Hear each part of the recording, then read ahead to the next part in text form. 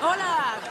Bienvenidos al noticiero Seven Seas. Soy su comentarista Zach Martin. Nuestra Y- primera Y noticia. yo soy Bailey Pickett, la otra comentarista. Oh, claro, la bebé ya está feliz. Nuestra primera noticia es del torneo de lanzamiento de disco. La señora Pepperman rompió su récord personal por interrumpir para ir al baño solo cuatro veces. ¡Felicidades, señora P! O diré, señora, menos pipí. ¿Tú me entiendes, cámara número uno?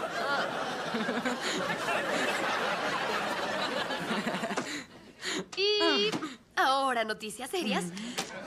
Según un reporte del Sindicato de Trabajadores del Mar, los empleados masculinos ganan 30% más que sus compañeras femeninas. Así se hace, chicos. Alcancemos el 40.